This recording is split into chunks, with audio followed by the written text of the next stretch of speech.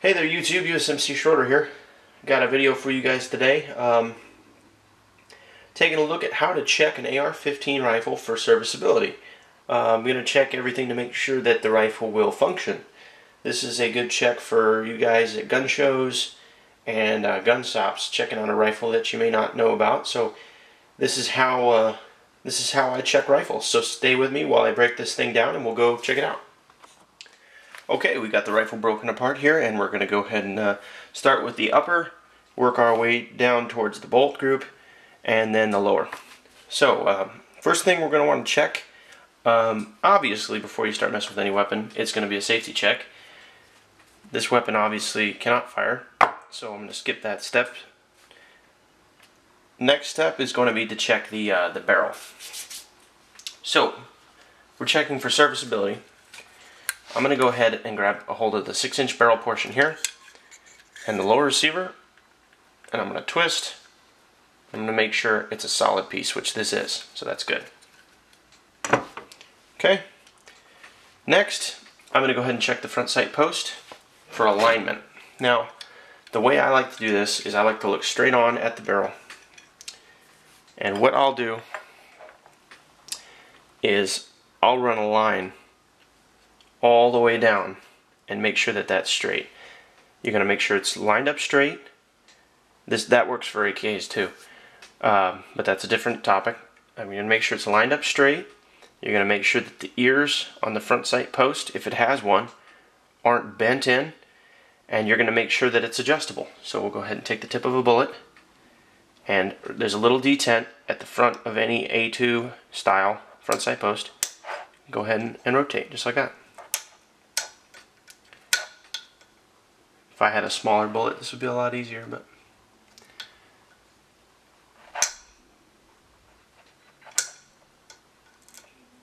There we go.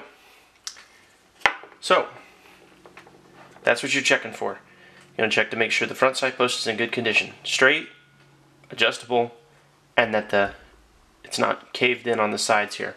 Because these ears, whether or not you really know it on a rifle, are very important because as you're looking through the peep sight, they help your eye naturally align the whole setup. So the next thing we're going to check is the gas tube. Now, for those of you who don't know, the gas tube is only secured to the weapon by a pin in the front sight base. So, what we're going to do is we're going to take the front sight post, or excuse me, we're going to take the gas tube, and like I said, it's only secured here, so It'll wiggle, that's normal. But I'm going to try to pull it back and forth. Yep, that's secured well. Okay, so obviously we know that this connection's good. We're going to go all the way back in now. We're going to look inside the upper receiver. Go ahead and look. It's a uniform shape. It's not bent. It's not uh, oval. It's a nice round shape. That means that it'll have good, uh, a good contact with the gas key. So that'll help it function correctly. Okay? Uh, next, we're going to check the handguards. You're going to look for cracks right around here and on the other end right around here. Because if any of these tabs that secure the, the handguards break off, you could be out in the middle of doing whatever you're doing and your handguard falls off. And now you're, you know, up shit creek without a paddle. So, I don't want to touch a hot barrel, and I don't think you do too. So there's a good check. Now we're moving on to the, the bolt carrier group. Okay, first thing you want to check with the bolt carrier group is you're going to look for irregular patterns of wear on the guide rails.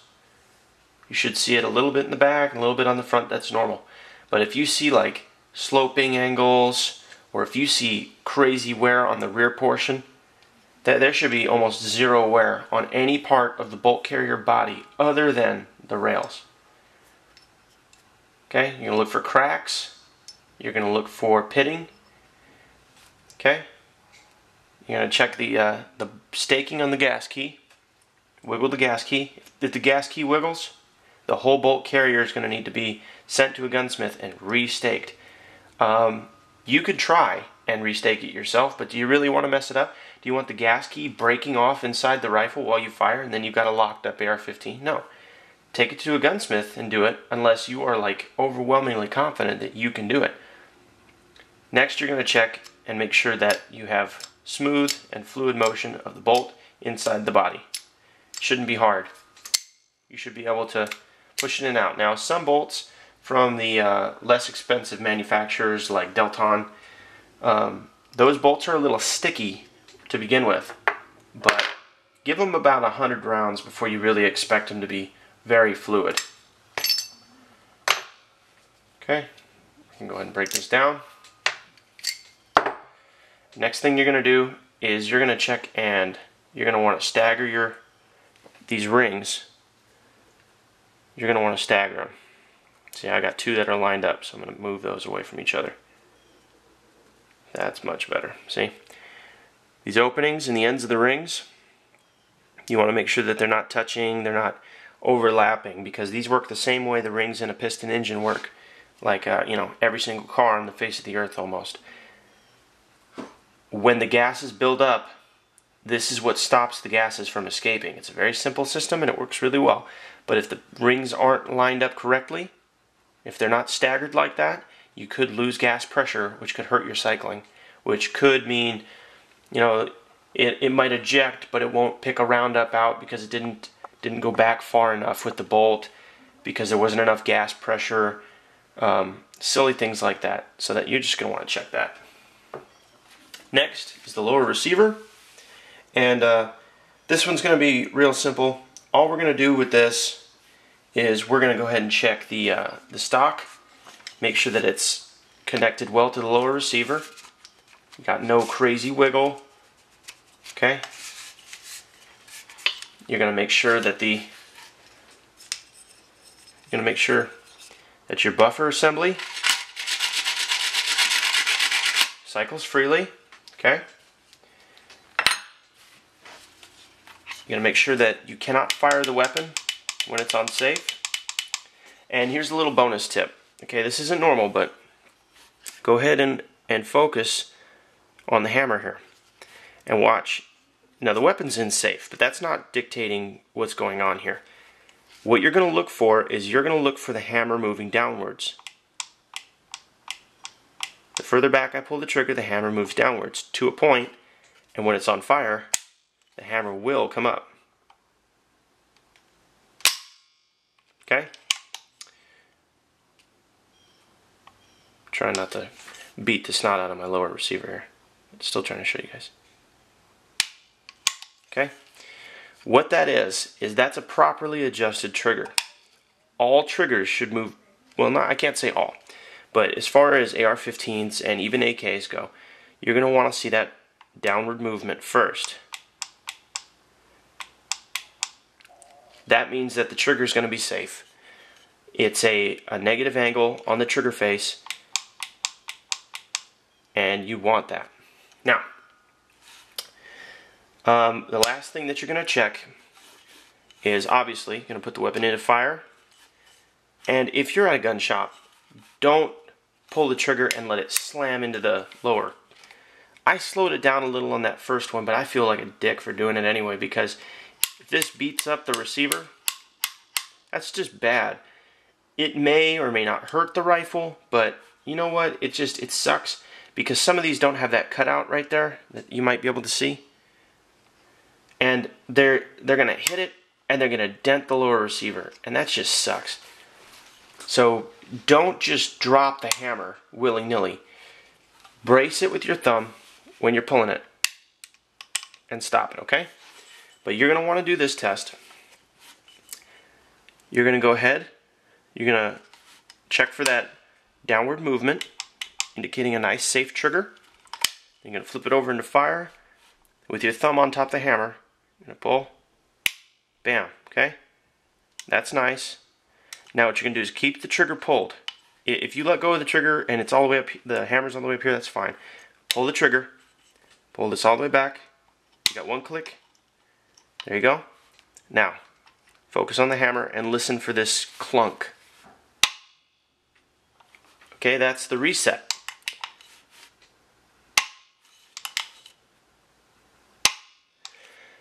That's also very good. That's going to help ensure the functionality of the weapon. If you go and you, you pull the trigger, right, and you're up here with it, and you go ahead and you, and you push it back down, and then you let go of the trigger and nothing happens, that means that your sear is kind of messed up. The whole trigger assembly is going to need to be looked at again by a gunsmith because this downward movement that that happens with this trigger isn't easy to do. And it's the difference between a couple of file strokes between being good and wrong. That's not something I want to mess up. I'm going to send that to a gunsmith just because the trigger, to me personally, is one of the most important parts of the whole rifle. So I'm not going to want to mess it up. So those are a couple of things that you can look at insofar as uh, checking an AR-15 before you buy it. Uh, real quick, just to wrap it up, we covered checking the barrel for tightness, checking the front sight base, front sight post. Okay, we covered checking the gas tube. All right, you know, and there's all the little bells and whistles you can check, like the magazine release, obviously, the forward assist. Make sure the sights adjust correctly. Make sure that all the attachments, handguards, pistol grips, stock, all fit nice and secure. AR-15s aren't really meant to be loose. The only part of the whole rifle that may be loose is the upper and lower receiver fit. Even if there's only a couple thousandths off, you'll still get a little bit of wiggle. You know, and that's normal. That's you're, you're talking the difference between like two thousandths of an inch will make it wiggle a little or not. Now, I'm not saying it should be excessive. If you go to pry the weapon open, like if you push the two receivers open and you'll be able to open up a little bit of a gap on one side, like they'll fit like this, okay? And you can do this, obviously. That's what I'm trying to say. If you can take a pen tip and put it in there, that's wrong and bad. Don't don't touch that rifle because it's mismatched. But if you can like open it up enough to fit like a piece of paper in there, that's not a big deal. Don't worry about it. Um, you can buy an accurizing wedge that fits in the back and that'll take off all of that tension. So uh, I hope this uh, helps you guys when you're out shopping or you know just when you're going through the gun safe and you, you know you're doing your monthly cleaning, which you should be cleaning your rifles. But uh, yeah, you know I, I hope that you guys uh, really get something out of this. And uh, the last thing I wanted to cover with you guys, as far as cleaning your rifles, I use CLP. Um, Break Free's great. Otis makes good stuff. This is what's issued. You know, it's all good stuff. Okay, I also like Hoppe's number nine. You know, really, it's kind of like changing your oil. You know, people argue about Pennzoil and Mobil One, but I'm thinking as long as you're doing it, you're really kind of two steps ahead of the game on that one. AKs, I, to be honest, I bore snake my AK and that's it. But this rifle, no, I've got a whole box of cleaning gear for this rifle because I know it needs it. AR-15s don't like to be dirty. They don't. So clean your AR-15s. You know, uh, a lot of people, they don't understand, you know, they, they buy an AR-15 and it works really well for a couple of months and and then, you know, they're, they they get out of that first bought rifle experience excitement and, and they just they get so pissed off because they go, they buy some wolf ammo, and then it jams up, and then, oh yeah, it's steel cased ammo, it just sucks. If you haven't ever seen one of these before, get one.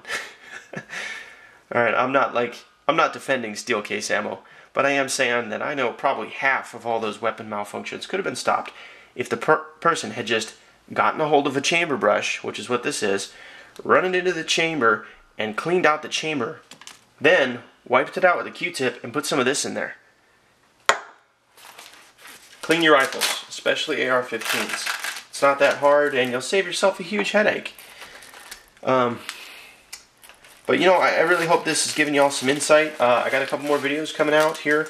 Going to be talking about a lot of great things about the rifles. Going to be talking about uh, shooting positions with AR-15s. Um, you know, I don't have a lot of knowledge that's different from anybody else. But what I do have is I'm pretty good with the M16. So I've got this, and I'm going to try to pass on what knowledge I can to the YouTube community as far as Marine Corps marksmanship. So look forward to those videos. Uh, as soon as I get some more ammo, I'm going to head back out and uh, really going to lay the hurt down on this thing. and uh, plan on passing all that knowledge out to you guys. So, thank you uh, for tuning in. Um, thanks for watching the videos, and uh, God bless America. Have a good day.